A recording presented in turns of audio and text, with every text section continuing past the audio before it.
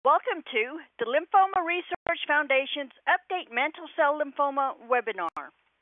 I'm Angela, and I'll be the moderator for today's call. During today's call, you will hear from an expert speaker, and you will have an opportunity to ask questions. If you have questions during today's presentation, you can ask them at any time in the Q&A box on the webinar. As a reminder, this webinar is being recorded. At the end of the program, a link will appear on your screen. Please follow this link to complete an evaluation of this program and gain certification of attendance. If you're listening by phone, this link will be sent to your email at the end of the webinar. And now I'm pleased to introduce Jesse Brown. Jesse Brown is the Associate Director of Patient Education at the Lymphoma Research Foundation. Welcome, Jesse. Thank you and thank you to each of you for taking the time to join us on today's update on mantle cell lymphoma webinar. We'd like to thank our sponsor of this webinar, Pharmacyclics, an AbbVie company, and Janssen Biotech. We have callers from 44 states across the U.S., as well as patients and caregivers from 14 countries around the world. Access to expert disease information is so important, and we are thrilled to be able to bring you this educational program. We have a wonderful program planned for you today, and I'm honored to introduce you to Dr. Allison Rosenthal. Dr. Rosenthal is a hematologist and oncologist at Mayo Clinic in Phoenix, Arizona. She is also an assistant professor and serves as the chair of the Lymphoma Working Group at the Mayo Clinic, Arizona. Her research focuses on studying mantle cell lymphoma and best practices for treatment. Thank you so much, Dr. Rosenthal, for speaking at our webinar today. I'll now turn the talk over to you. Thank you. So thank you to um, the Lymphoma Research Foundation for asking me to participate in this webinar. One of my favorite things to do is patient education type things. I think it's pretty important in regards to patients being empowered when it goes when it comes to going through treatment for things and understanding kind of why we're making the decisions we're making in the process of treating them. So I appreciate this opportunity and I um, also want to thank everyone who's called in and taken time out of their day. I hope everybody gets something that they're looking for out of this talk. So as advertised, today we'll go over a little bit about mantle cell lymphoma in general, talk about treatment options if you've been newly diagnosed, talk about why clinical trials are so important, what therapies are coming up for mantle cell lymphoma, some quality of life concerns patients living with mantle cell lymphoma may have, and then we'll have time for questions at the end. So to make sure we all start on the same page, I think it's important to understand that lymphoma is a type of blood cancer and it affects certain cells in your immune system called lymphocytes, which are just a type of white blood cell. Within the spectrum of lymphoma, there are two major subtypes. There is Hodgkin lymphoma and non-Hodgkin lymphoma, of which, of course, mantle cell is a subtype of non-Hodgkin lymphoma. And just for reference, lymphoma is actually the most common blood cancer we see. So while mantle cell may not be the most common type, we certainly see a lot of this in an oncology practice. There are multiple parts of the immune system that can be involved when someone has a lymphoma. And when people hear the word lymphoma, we frequently think of big lymph nodes. However, because it's a blood cancer, it can really show up anywhere from your scalp to your toes.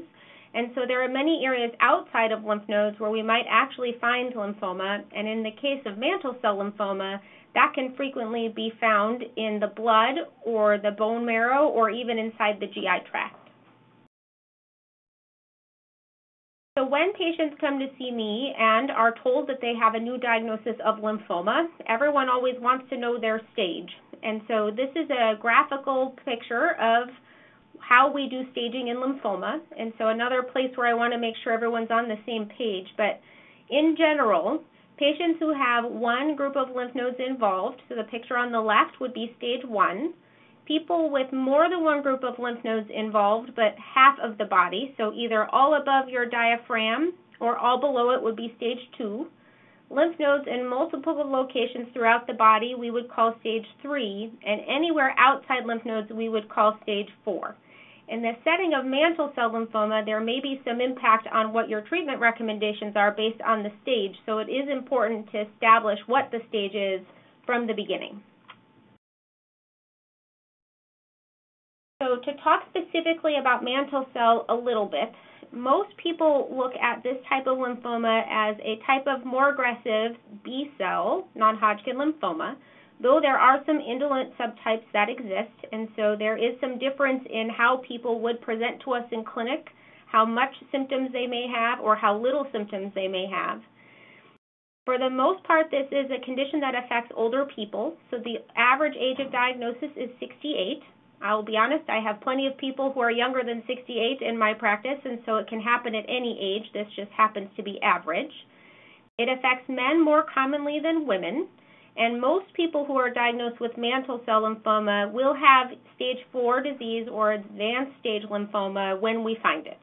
It doesn't mean anybody waited too long to be seen, and it doesn't change generally what we're going to do treatment wise, but we have to know what the stage is so when we design a treatment, we're able to go back and say, yep, we covered all of our bases and we're happy with how much things have improved. So, in mantle cell specifically, involvement within the GI tract is very common, and you will find that between different institutions or offices, that some people get endoscopies, meaning a um, an upper GI or an EGD scope or a colonoscopy as part of their staging. Some places reserve those tests for just if people have concerning symptoms uh, in an effort to find out if those are related to mantle cell involvement. One of the things that defines mantle cell lymphoma is something called cyclin D1 positivity. And so, if you're reading through your pathology reports or clinical notes, you will frequently see that that's positive in the majority of people with mantle cell. And that actually helps us understand why those cells grow and how they're behaving the way that they are. For the most part, we have no idea why people get lymphoma. And I know that's frustrating, and I wish I had the answer because I get that question multiple times a day. But I tell all of my patients it probably has nothing to do with anything you did or didn't or would have, should have done different had someone said to you, don't do that, you're going to get lymphoma. We, we're still better trying to understand what those things are. You can see in the top box on the right side of this slide that mantle cell lymphoma makes up a small piece of pie in regards to all the different types of non-Hodgkin lymphoma.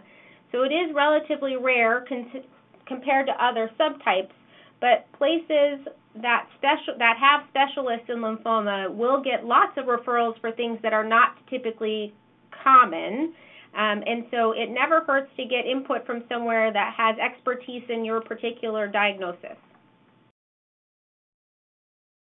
So I had mentioned that there are different ways people can present with mantle cell lymphoma, and one of those different ways, other than showing up with just big lymph nodes and feeling crummy, is that some people will actually be found to have an abnormal blood test, and that's how we find it. So you might go to your regular doctor and get a blood test done, and they tell you your white blood cells are too high, or your lymphocytes are abnormal in your blood. And when that happens, people often will have a big spleen, which is part of your immune system, and if it's in the blood, it also means it's in the bone marrow. That's where all your blood is made and it comes from. So if we can detect lymphoma in the blood, by definition, it's also in your bone marrow.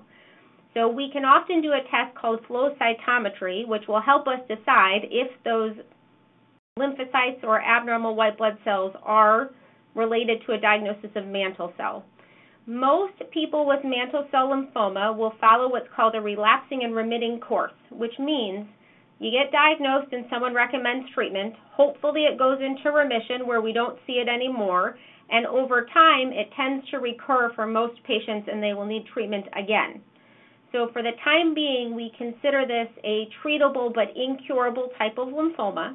Though there's a lot of research and a lot of effort being done around the world to try and change that one day, and we hope with support and ongoing clinical trials that we will be able to find a way to fix this permanently for patients in the future. So I included this slide um, mostly because I, I want people to be able to understand when they're seeing certain nomenclature or certain words in their notes, if you're trying to follow what your doctor is doing. Some of this helps us predict whether or not we think things are going to move slowly and behave pretty well, or if there are features of your mantle cell lymphoma that make us a little bit more worried about behavior and picking the right therapy for people. So some of those things we keep an eye on are the um, Ki67, which some people call a Ki67. What that is, is it tells us how quickly those cells are turning over. and it gets reported as a percentage on a biopsy, so either from a lymph node or a bone marrow. And the higher that number is, the more likely it is that the lymphoma is growing pretty quickly. Most mantle cell lymphomas are over 30%, but the ones that present in the blood with a big spleen will have a lower number a lot of times. So that is something that we know pretty early that helps us gauge how quickly we think the lymphoma has kind of moved along.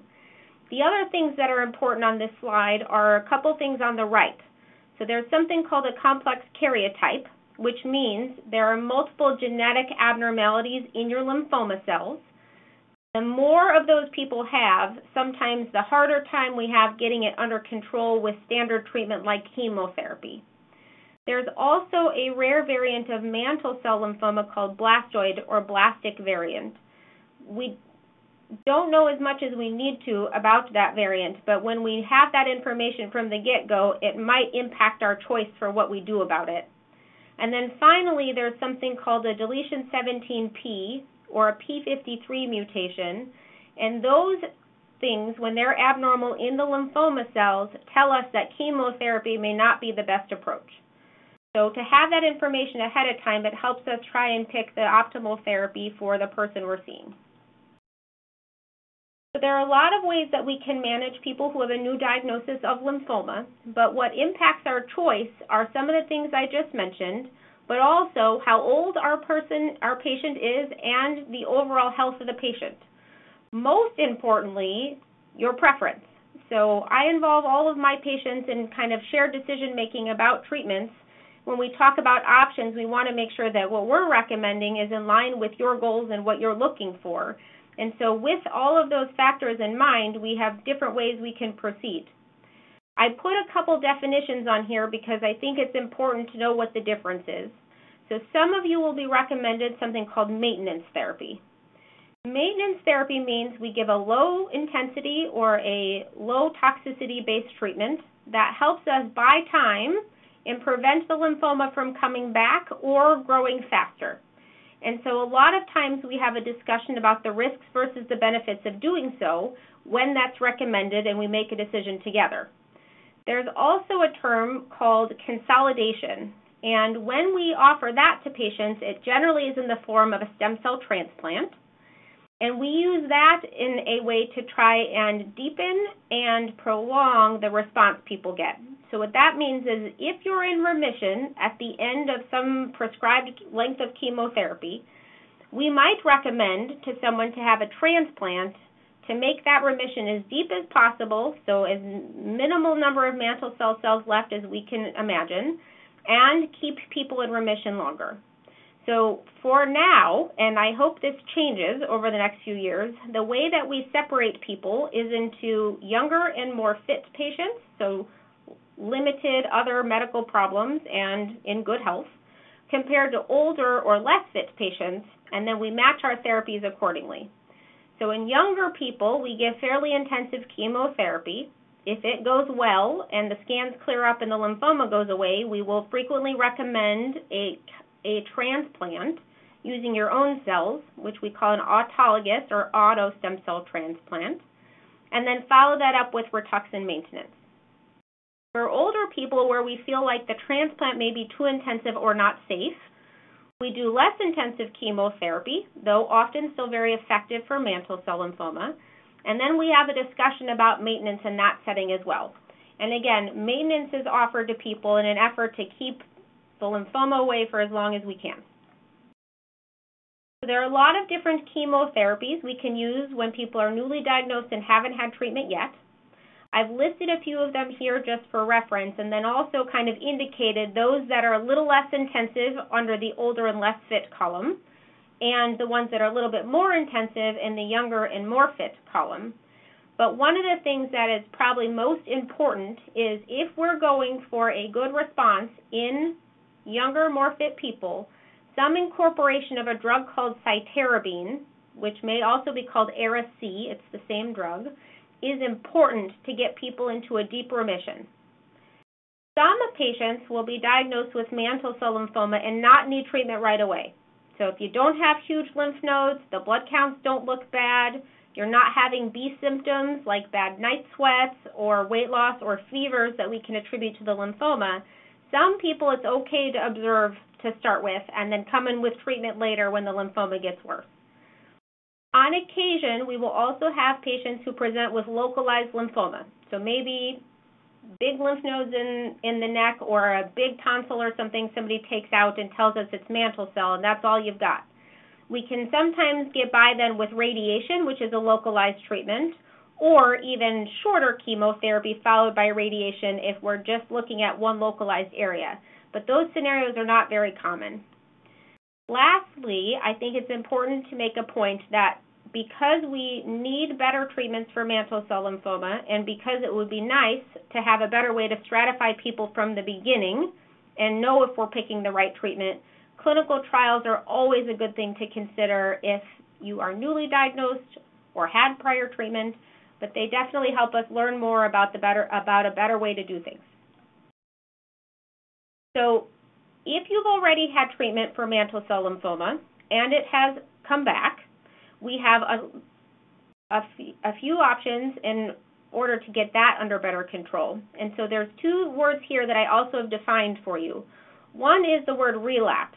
So relapse means you got treatment once, the lymphoma went away, it went into remission, and then it has come back.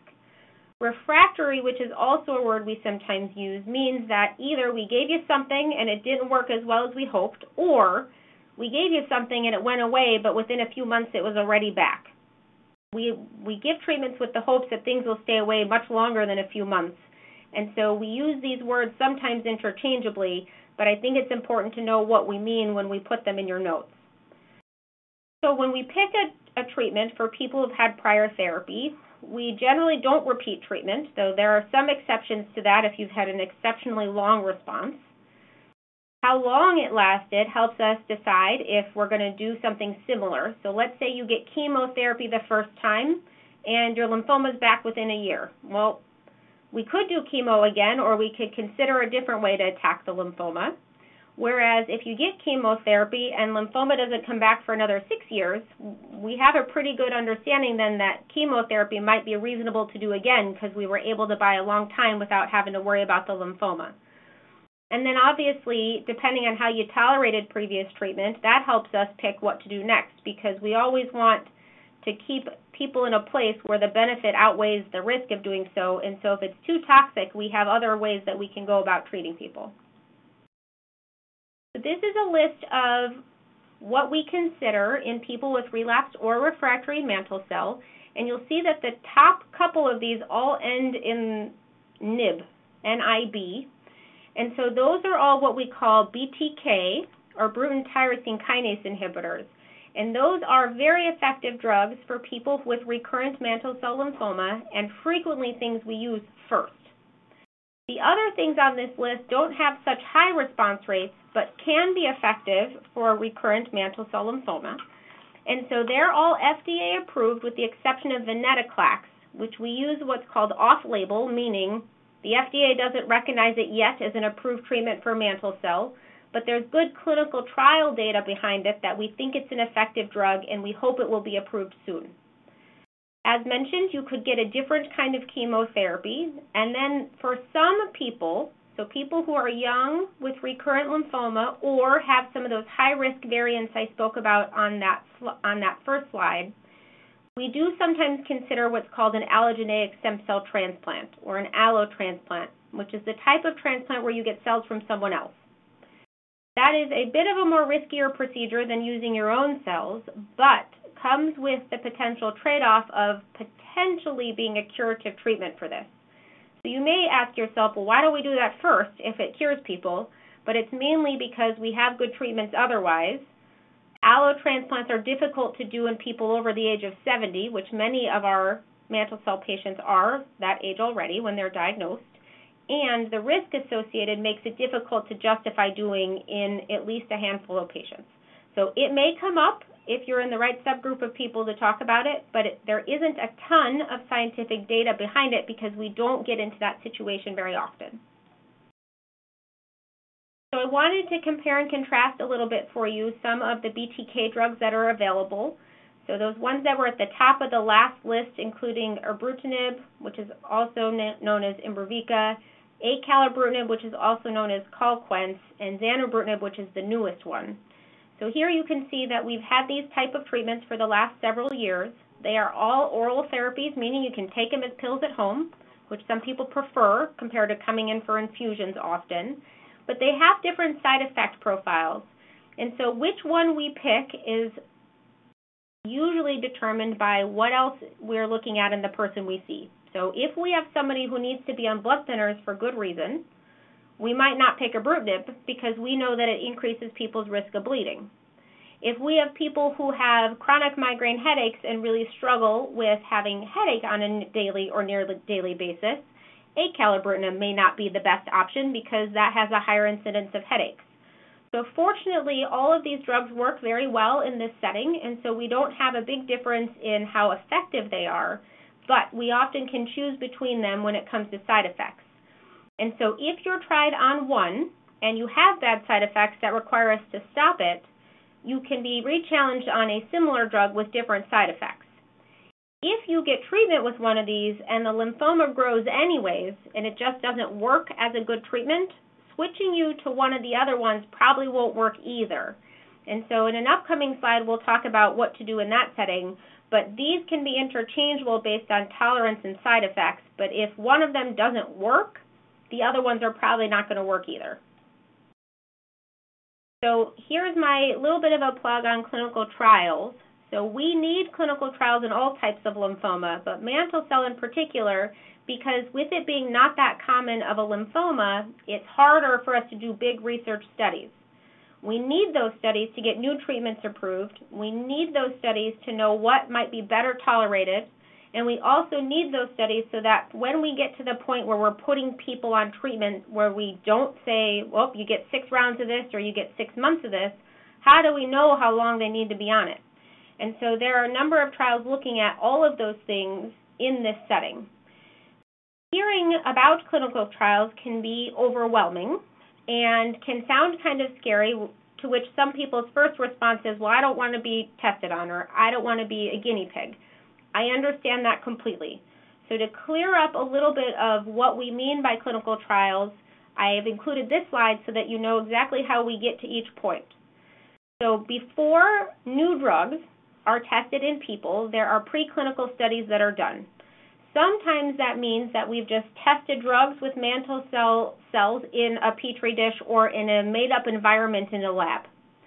Sometimes that means we've tested drugs in animal models that have been given mantle cell lymphoma.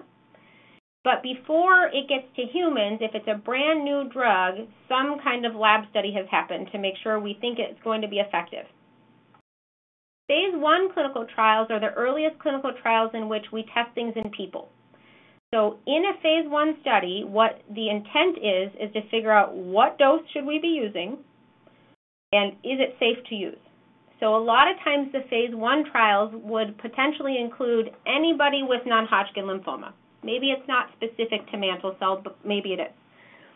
Phase two studies are based on information we get from phase one studies. So if we included anybody with lymphoma on a phase one study, but we saw, oh, it works really well in Hodgkin's and it works really well in mantle cell lymphoma, Phase 2 narrows down the pool a bit, and we get a little bit more specific with who we're treating. A Phase 2 study is designed to tell us, does it work?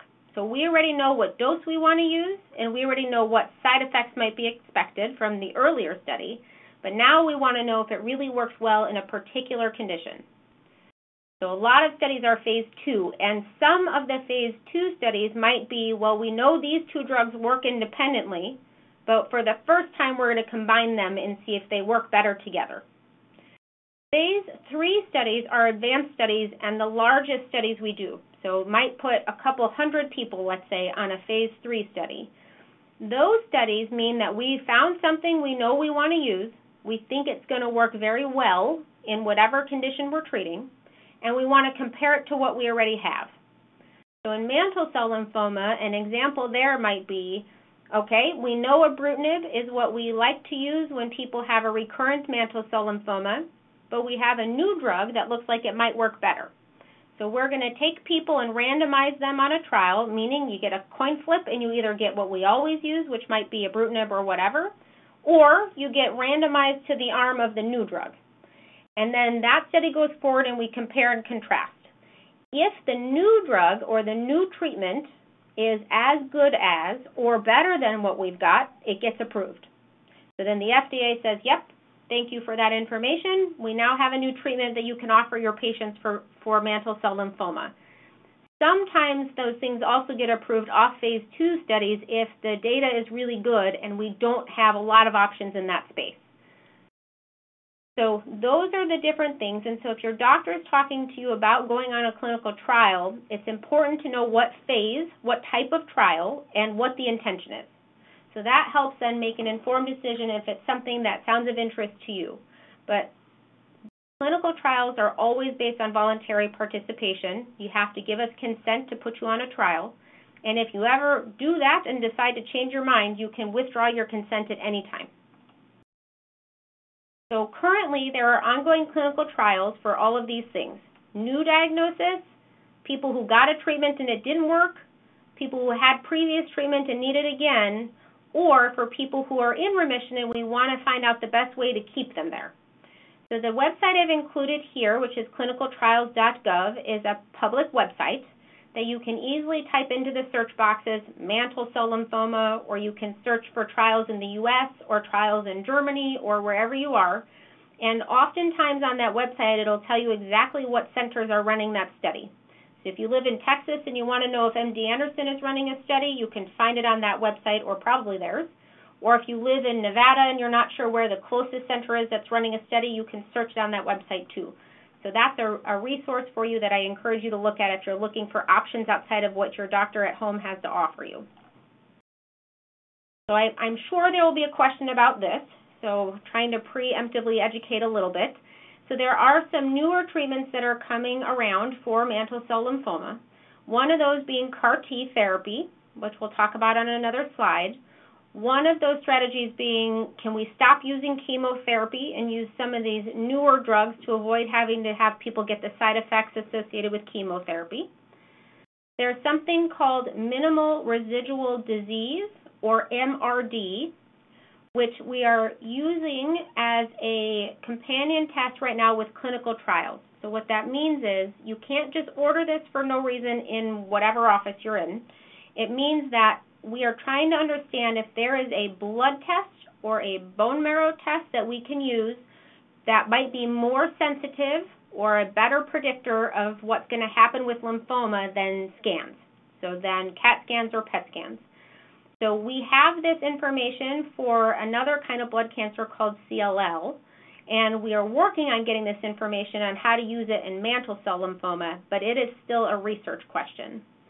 And then lastly, which is something that I'm interested in studying, is can we ahead of time know enough about people's mantle cell lymphoma to not have to pick therapy just based on if they're young or old?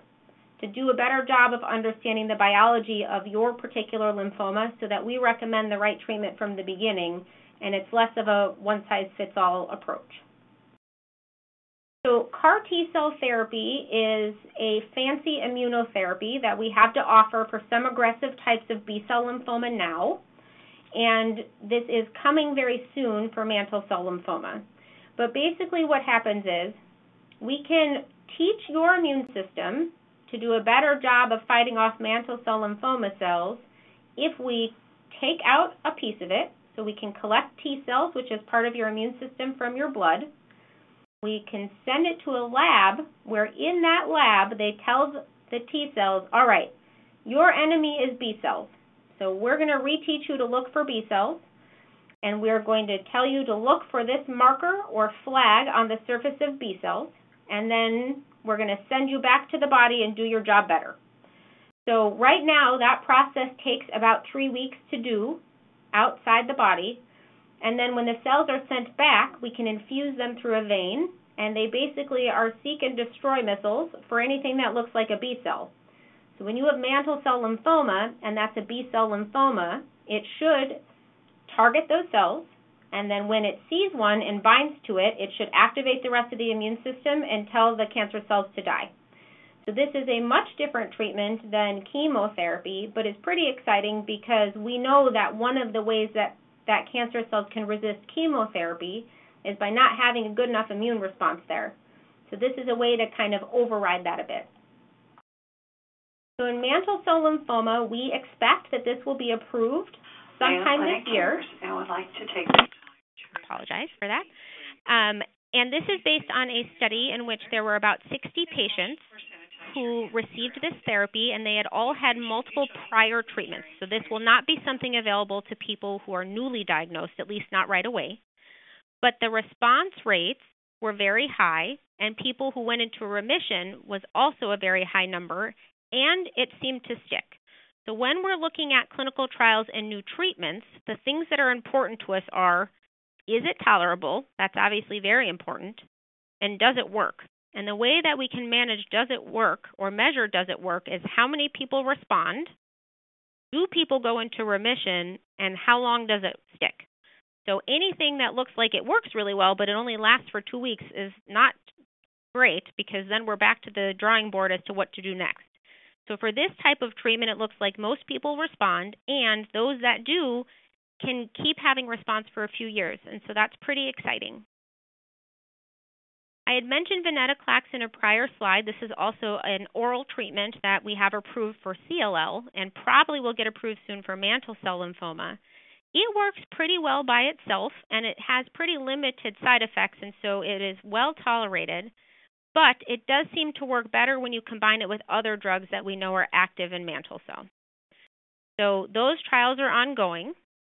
We may see this get added to first line or the first treatments we give people, but those trials are just now being done also.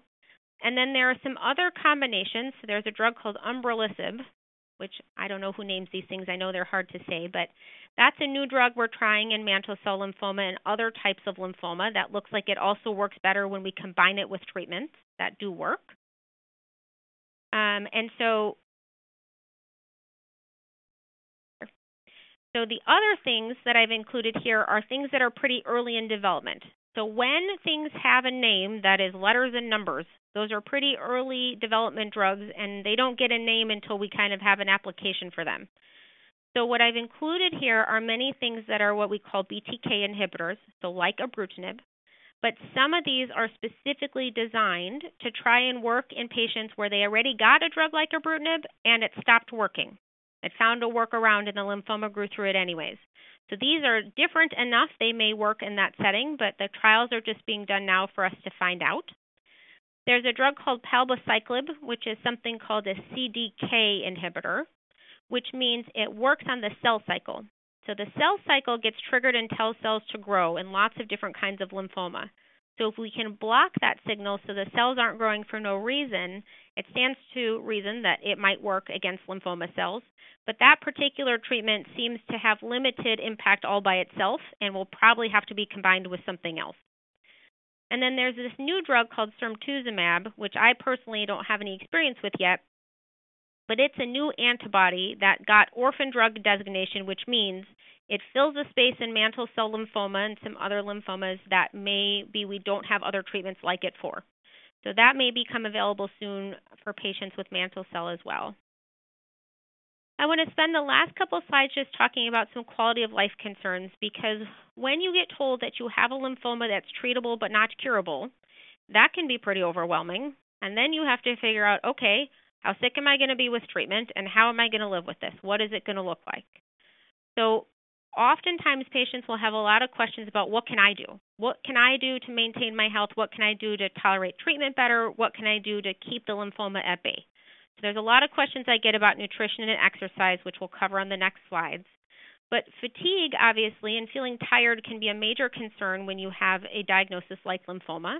And sometimes that gets better with treatment, and sometimes it doesn't.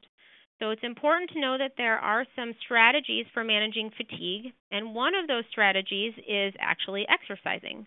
So not going crazy if you're not typically a regular exerciser, but making sure you get some daily activity and actually helps manage fatigue, and paying attention to the times of day that you actually feel well, and practicing some what we call energy conservation strategies. So if mornings are best for you, you run your errands and you get what you need done in the morning and you rest in the afternoon. Or if you're a little bit slower to get going and you find that late afternoons are better, you plan your day around those things so that you can maintain as much of a normal quality of life as possible. We obviously worry very much about short term and long term effects of treatment. So during treatment, we have to make sure people don't get infections and nausea is controlled and all those types of things. But there are definitely some longer term effects like chemo brain, which we obviously understand not well, neuropathy, sometimes heart or kidney side effects. And so it's important we have all these considerations in mind when we're taking care of you and that you let us know what's bothering you so we can do our best to minimize those symptoms. There's a lot of obvious uncertainty, fear of recurrence. When you get told you're going to have something that comes back, how do you plan for things? How do I know when I can buy a new house? Do we plan a vacation? Am I going to be okay to go? So we individualize those conversations with patients.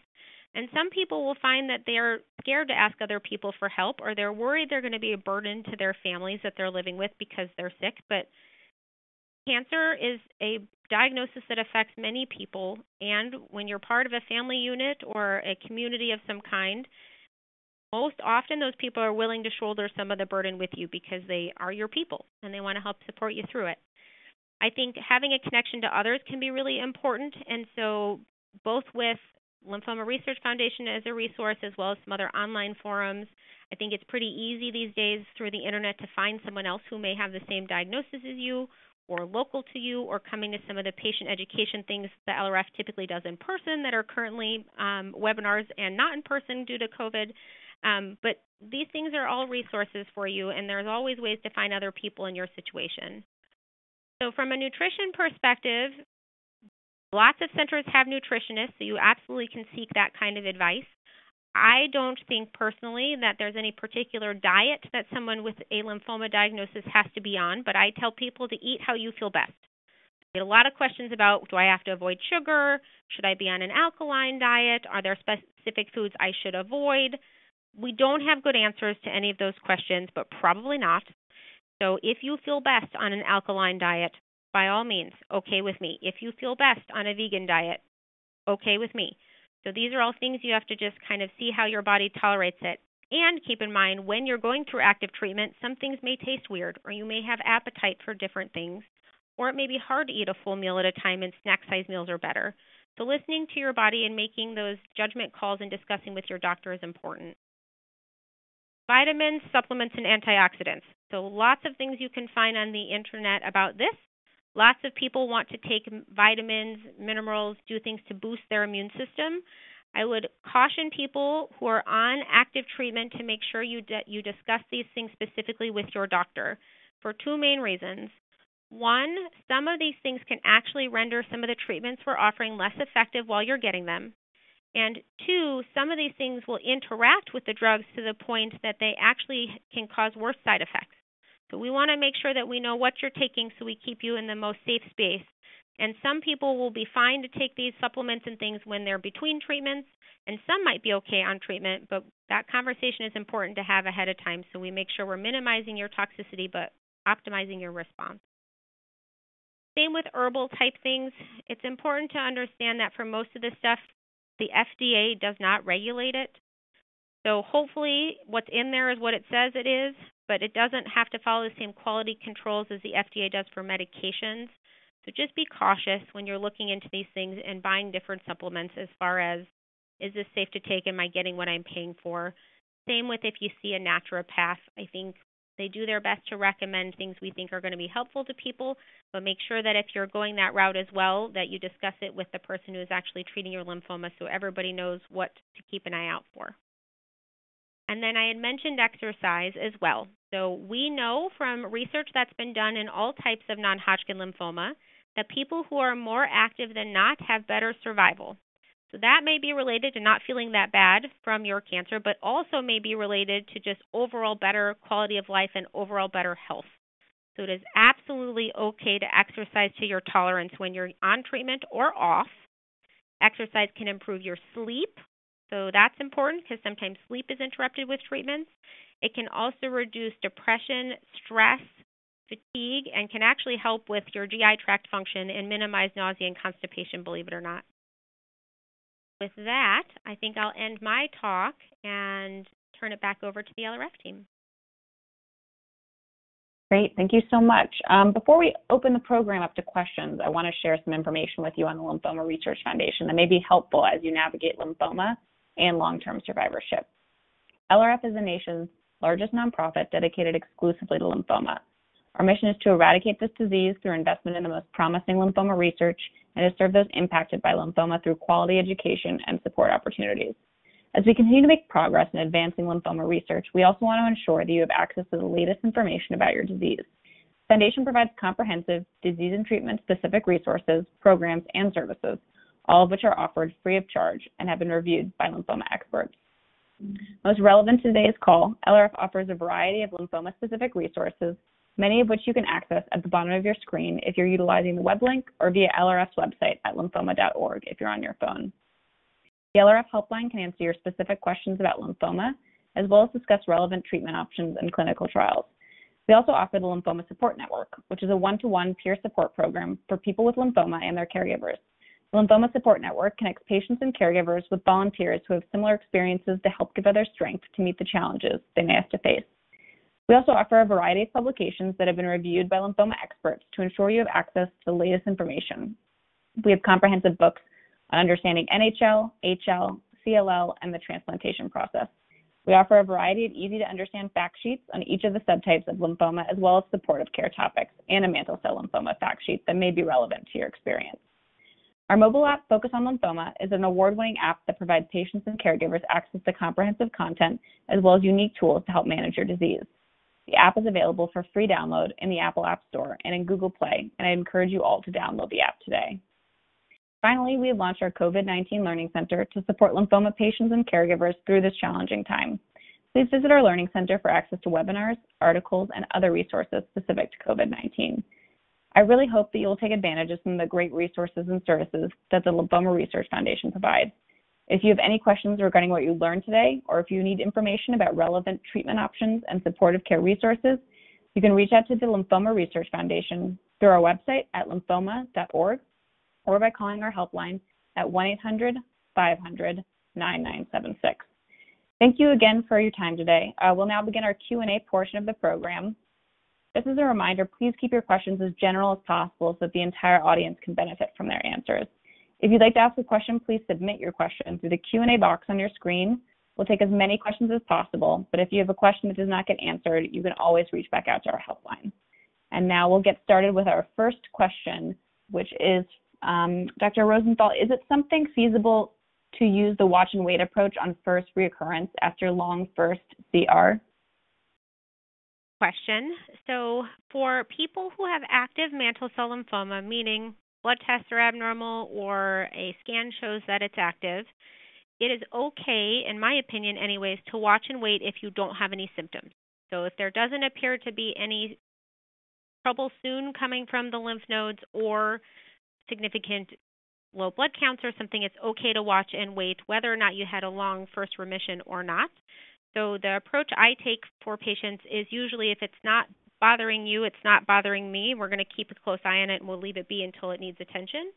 Um, but that obviously is an individualized approach and it depends on some of the features of your lymphoma. I think it would be hard to do that if you, um, for example, have the blastic variant of mantle cell. I think a lot of people would be reluctant to just sit and wait to see what it's going to do. Great, thank you. Um, our next question is is there any guidance with regard to duration of R maintenance after initial chemo? I was initially on course for two years. My doctor is now recommending to continue R maintenance until disease returns. So that varies a little bit too.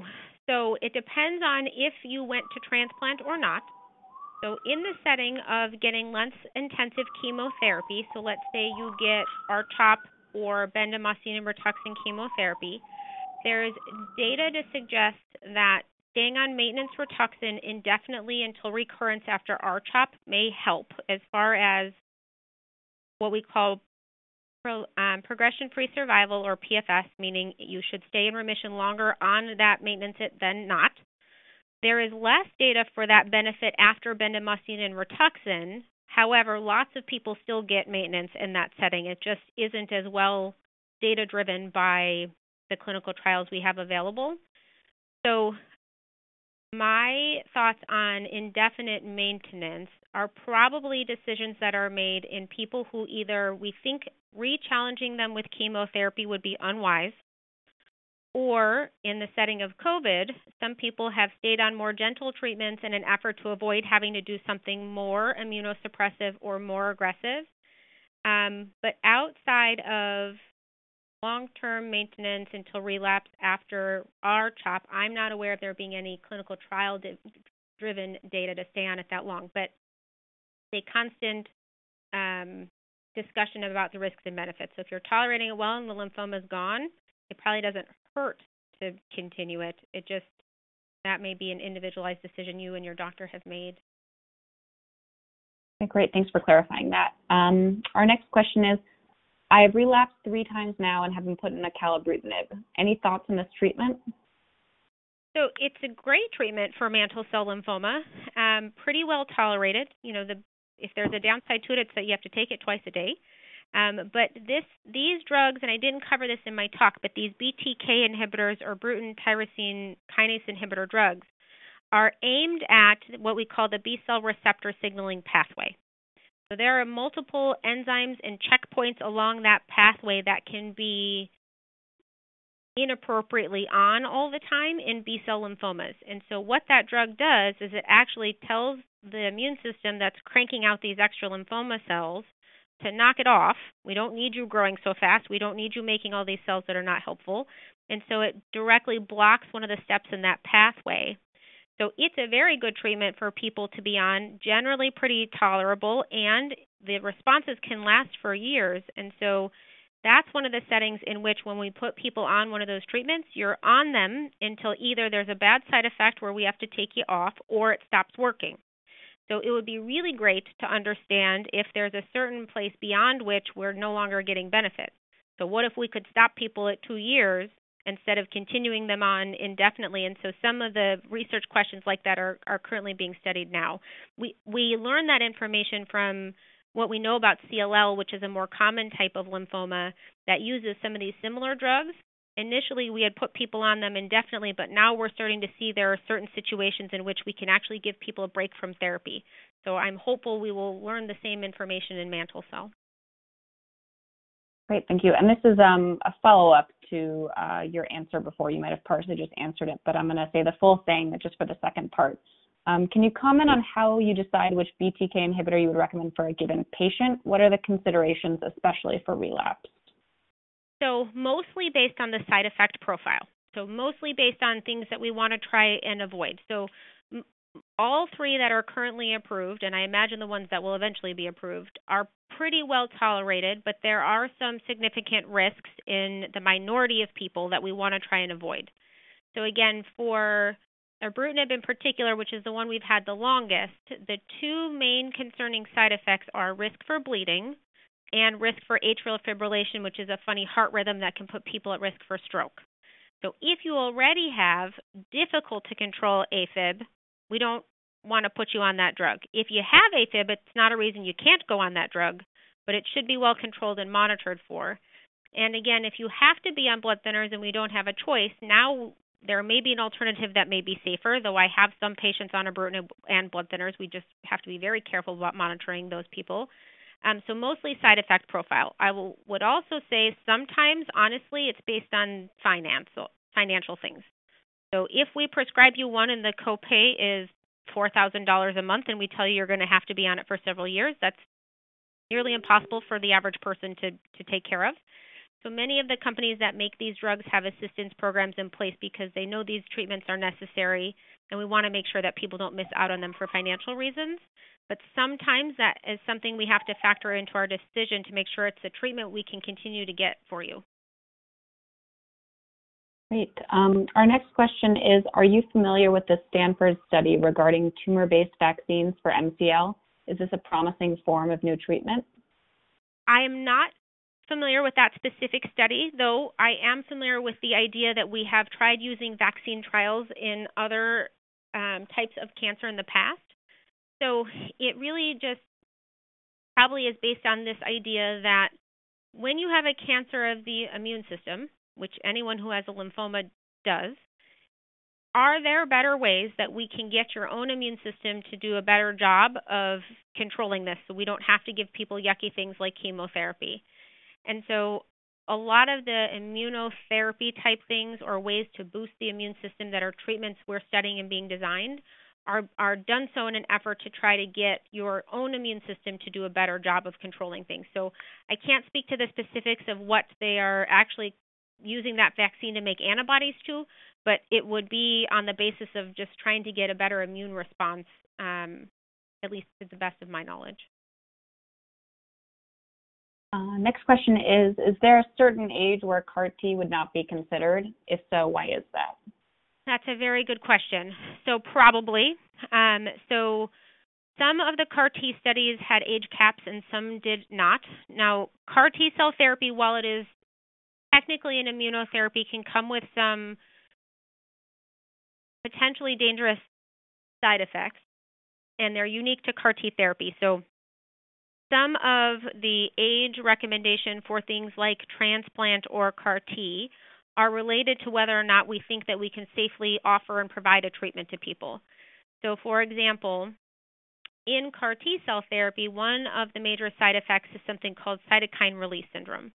And cytokines are what make people feel really crummy when you have the flu, let's say. So it's the things that cause fever and body aches and low appetite and fatigue and so when we turn on the immune system, we actually activate a lot of cytokines. And so people can get a very brisk immune system response where they get all those same symptoms. So if there are organ function concerns or if someone is very frail and having this quick attack of the immune system might compromise them, we would not offer them that kind of therapy. So, age isn't the only thing we consider, but I but I think over the age of 70, 75, we get into a little bit of a tricky category where we don't have a lot of data because the people who went on the trials were probably not much older. Um, so again, another kind of risk versus benefit assessment there. Hopefully, as time goes on and we understand these types of treatments a little bit better, we have better ways to mitigate that risk and that toxicity so we can offer it to the broadest range of patients that we can. Thank you. Um, if you had an auto stem cell transplant and then relapsed, would you still consider another transplant? Good question. So we only do auto transplants once in the setting of lymphoma. So I tell all of my patients who go to auto transplant, this is a once in a lifetime opportunity for you. Um, that doesn't mean that someone could not be considered for the other kind of transplant, the allogeneic stem cell transplant or cells from somebody else. Again, the, the risks and benefits associated with that type of transplant are different, and we reserve that option for people who are running out of approved options that are young and otherwise well enough to consider it with a good donor situation. So, with somebody that we think has an immune system close enough to yours but different enough that we think that it would take care of the lymphoma in the long term for us. So, you would never have a second auto transplant, but some people who go through an auto transplant may go on to receive an allo transplant. Great, thank you. Um, when do you expect CAR T cell therapy for mantle cell lymphoma to be improved? This year. So, sometime in the next month, we hope to hear whether or not the FDA has actually approved uh, the current the product that I included in my talk. And once it's approved, it will take some time for centers to get certified to give it to people, for the laboratories to be up with all of the um, techniques and tools that they need in order to get the cells manufactured. Um, and so it probably is something that people will be able to get through their insurance sometime before the end of this year, um, but probably a better kind of well oiled machine by sometime next year. Great. Um, our next question is once um, a COVID 19 vaccine becomes available, would mantle cell lymphoma patients on maintenance rituximab be able to get the vaccine? Is COVID 19 especially dangerous for mantle cell lymphoma patients? Okay, so let me take that first part and I'll just answer a question, I guess, based on vaccines in general. So, vaccines come in two varieties either inactivated, so dead virus, or live vaccines, which would still be live virus. So the MMR vaccine, the one that co- that covers measles, mumps, and rubella, is a live vaccine. And so in people who have lymphoma, we try and avoid live vaccines because if your immune system is compromised, it is possible that you could actually get the virus from having a live vaccine rather than just mount an immune response to it. That's a bit of a theoretic concern, not something that like we ran into over and over again and then changed our mind. So we try and avoid live vaccines when we can. I believe that the COVID 19 vaccines that are being developed will be inactivated, so dead virus, which is what the flu vaccine is. And so any of our lymphoma patients can safely receive inactivated or dead virus vaccines. So we, we offer those to people often. The question about rituximab and vaccines is difficult to answer. So the reason that that is even a concern is because rituximab depletes B cells. We want it to because that's what it's going after. But your B cells make antibodies, and your antibodies are what mount a response to an infection or mount a response to a vaccine. So after receiving rituximab, you will probably have at least a blunted antibody response to something for several months after you've gotten your last dose of Rituxan. So the vaccine won't hurt immediately post Rituxan if it's dead, but you might not mount a full response to it unless you have normal antibody production, which generally comes back somewhere between 8 and 12 months after you finish Rituxan, but it varies from person to person. That's kind of a rough guesstimate I give my patients. Um, so that was the first part of the question. And then the second part of that question about danger with COVID 19. So we know that the mortality rate, meaning people who don't survive COVID, is probably higher in people with chronic diseases like heart and lung problems or cancer compared to people who don't have any of those diagnoses. So, when able, I would still continue to take as much precaution as possible as far as social distancing, wearing a mask, avoiding large crowds if you can. I realize we are all tired of being locked up and restricted in some way or another, no matter where we live at this point. And so I would just exercise caution. It, it's difficult to say without knowing the individual kind of overall risk. But Great, thank you. Um, next question is for a fit 67 year old. What types of side effects might be associated with bendamustine? For a 67 year old, it's Yeah. generally a pretty well tolerated chemotherapy. So when I look at tolerance of chemotherapy, people always say, How sick am I going to be? And usually that means, Am I going to be throwing up? So on the scale of how likely it is to cause nausea versus not, bendamustine is pretty low on that scale for most people. I've had we give lots of bendamustine for lots of kinds of lymphoma. I've had two people in my career tolerate it so poorly that they had hor- horrible nausea that's not expected and that is something that would be a reason to not continue it, but most people don't experience that. So pretty well tolerated. The biggest issue we run into with people is whether or not it's too hard on the bone marrow. So if we find that people's blood counts are too low to stay on schedule with treatment, that ends up being honestly the biggest concern we run into in in in practice with bendamustine is sometimes it just is hard to recover from and we can't get in as much as we originally have planned. But pretty well tolerated. Um, next question is I had a relapse five years after R hyper CVAD confirmed by biopsy. We elected watchful waiting. On my next restage, the MCL was not detectable and has not reappeared after six years. Is it common for relapsed MCL to disappear? Common, no. Possible, yes. Um, I tell people every day in my clinic, I learn something new from lymphoma every day. So, um, we're always happy when that happens. Perhaps you had a very small volume relapse and the immune system activated itself and, and took care of it. Um, it's very difficult, even though you've gone six years, for any of us to say you're, quote, cured of this type of lymphoma. But the longer you go without treatment, the better, because A, you avoid toxicity of treatment, and B, hopefully we have new and better things that come up if or ever again you need treatment. So that's great news that you haven't needed anything in six years, and I hope it continues to last. Great. Um, I think we have time for just maybe two more questions. Um, the second to last one is My husband was diagnosed with MCL and fought 10 years before passing. How concerned should my 34 year old son be about likelihood of getting MCL too?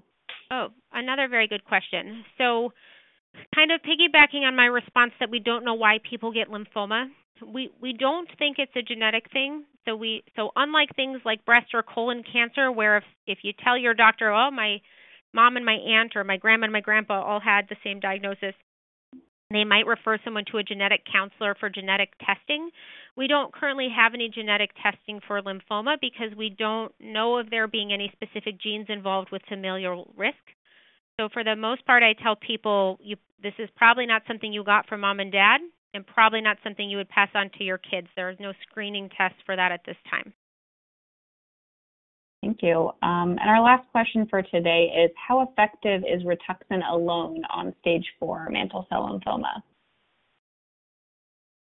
Ooh, uh, wow. I'd probably have to go back and dig a bit into the original research in mantle cell. It's it's probably not enough to get somebody into remission. I would be surprised if that happens. However, it is an anti B cell drug, and so if you have a fairly slow growing mantle cell and good reason to avoid other types of treatments that we would typically give with Rituxan, it's not unreasonable to give it a try for as long as it helps, but it is not a standard recommendation to use it by itself.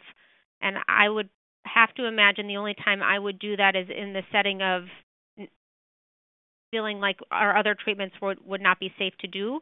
Now, that's different than giving maintenance. So, if things are under control and you're continuing on single agent Rituxan, I think that's a different question. Um, and in that setting, to keep a lid on things, it tends to work pretty well once we have good control. Hopefully, that answers your question. Yeah, that was great. Um, thank you so much, Dr. Rosenthal.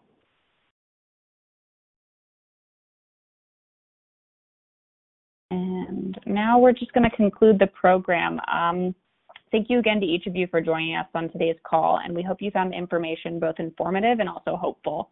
We'd also like to thank our sponsor again for making this program possible, Pharmacyclics and AbbVie Company and Janssen Biotech. Please remember, if you have any additional questions or you'd like to be connected with someone else who has been impacted by lymphoma, you can reach out to the LRF helpline at 800 500 9976. Also, at the conclusion of this program, you'll receive an email prompting you to complete a program evaluation. I would ask that you please take a few moments to complete this evaluation, as these are important for helping LRF to ensure they deliver the most useful and meaningful programming to you. And with that, I'd like to thank you all again for joining us and have a wonderful day.